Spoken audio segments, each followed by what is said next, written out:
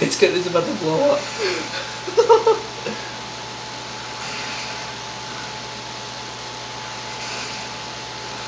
it's gonna fucking.